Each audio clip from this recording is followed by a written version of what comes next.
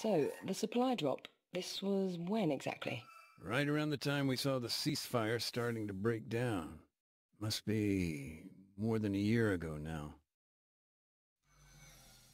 So, at that time, your camp was in the center of town? Yeah, things were getting pretty desperate, though. I remember we hadn't been resupplied in months. No food, water, medicine. We were used to issues with logistics, but I don't know, in the end it got so bad U.S. forces prepared an airdrop.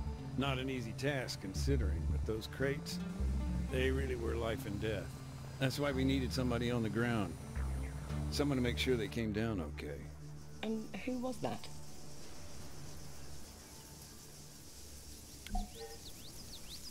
A guy named Adams, part of the NATO peacekeeping force. Close friend of mine, actually.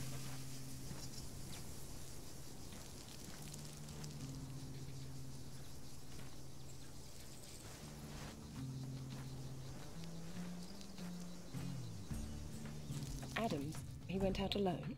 From the way he told it, he may as well have. No, he went along with some new recruits, local bunch. It was his job to show them the ropes.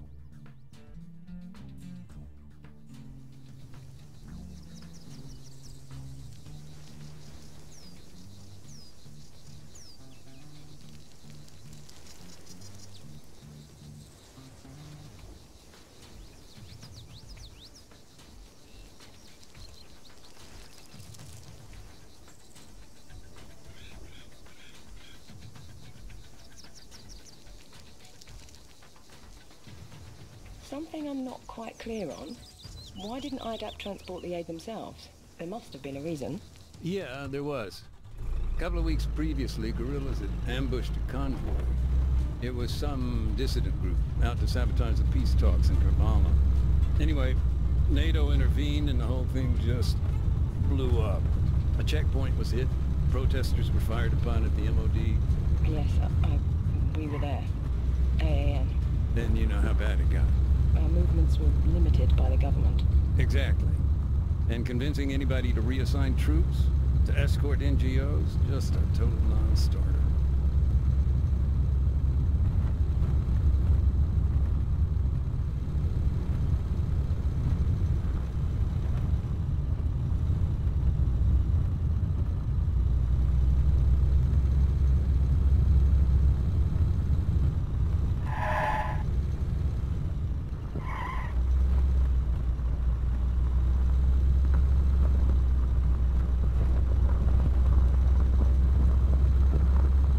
Tell me more about your friend.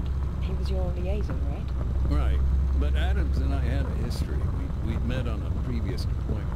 This guy was your typical army lifer. Cynical, sarcastic, big heart, pissed off with everyone, everything, all the time. And he always seemed to know where to find a beer, and was always willing to share it. A ways up the road from our encampment, there was a small farmstead. As far as drop zones went, it was as good a spot as any. Waiting. Ready. Standing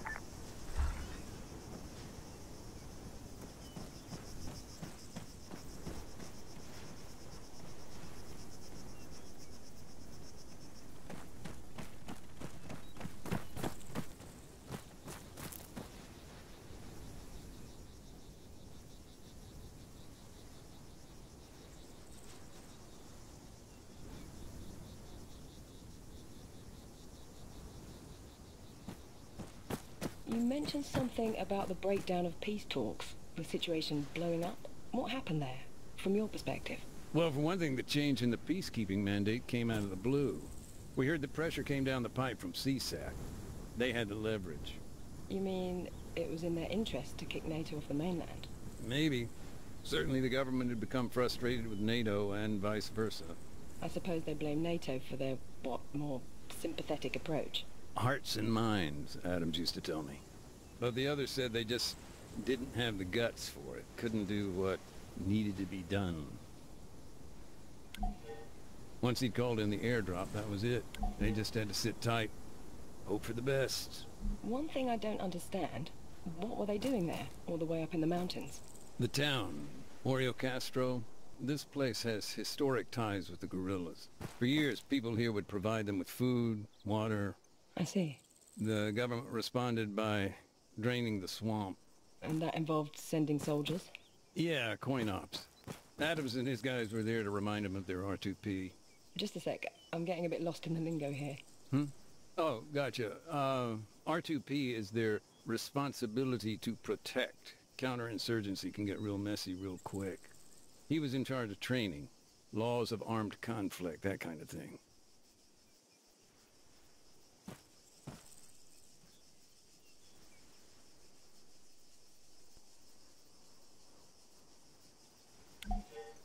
Adams normally tossed out an orange smoke grenade, which marked his position for the pilot.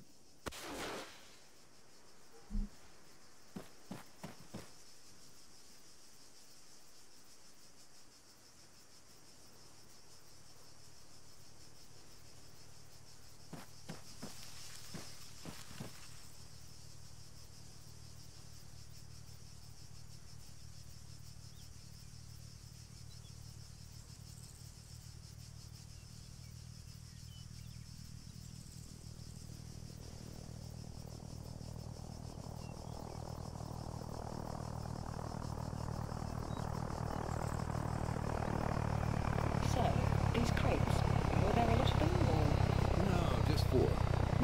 Medicine, another fresh drinking water. The rest were packed with rice or grain. Adams had to inspect each one individually. Later, we'd arrange collection.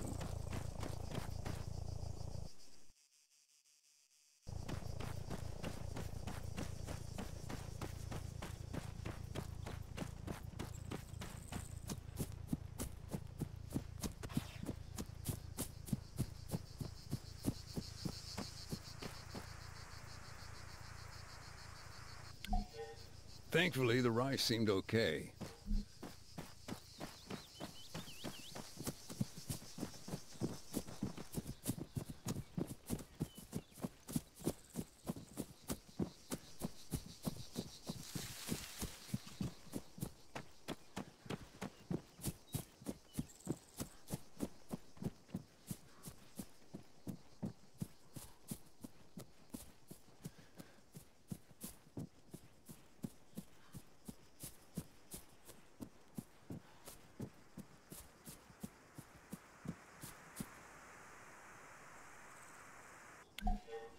It wasn't uncommon for the sacks of grain to split on impact, but that time, we got lucky. He didn't lose a single one.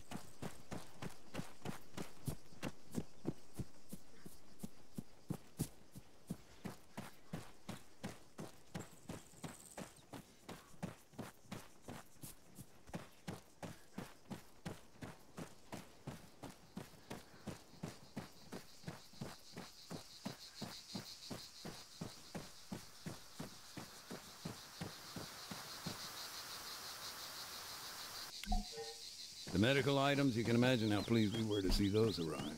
So they landed safely. Yeah, yeah, they were fine.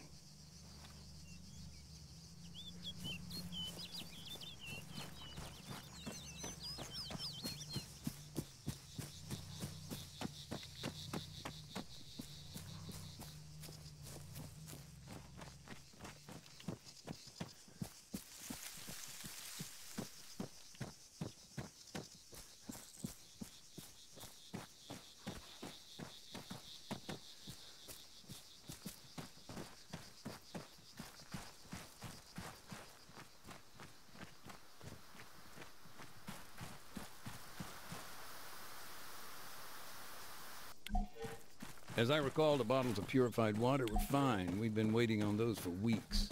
As for the crates, they still needed to be checked before anyone else arrived.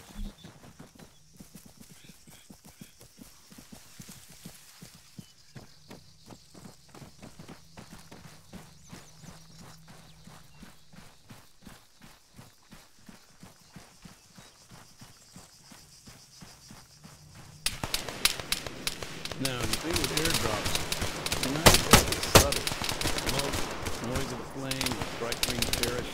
You're gonna get you noticed. And when you're in the middle of bandit country, that's a problem. Zero, five, zero, two, zero, eight.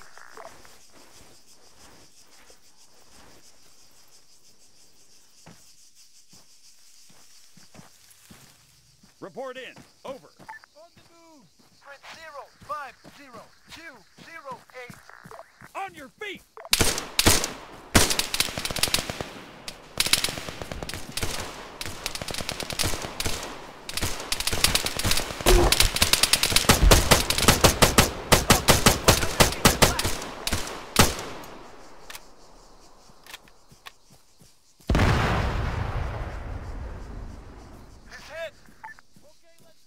On your feet!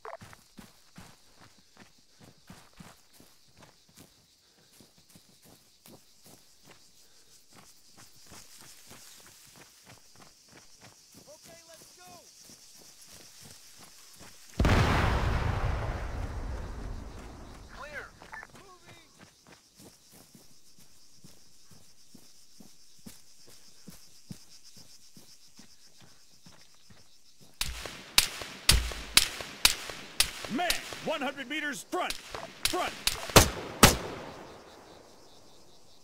The guerrillas attacked. Yeah, from what I heard, it was pretty intense. I don't have the numbers, but maybe six or seven were killed. And what happened when the supplies had been secured? Adams would fire a flare.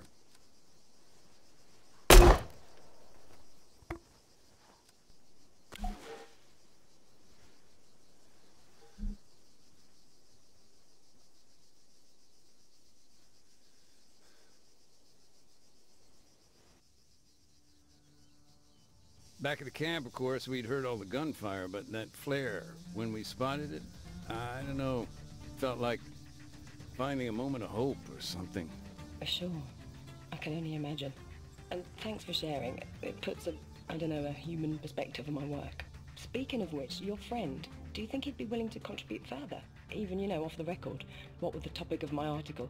Having an expert, an instructor on the laws of war. It- Look, I'm sorry. I, I know he'd help out however he could, but listen, he died on Stratis. Year and a bit later. Landmine.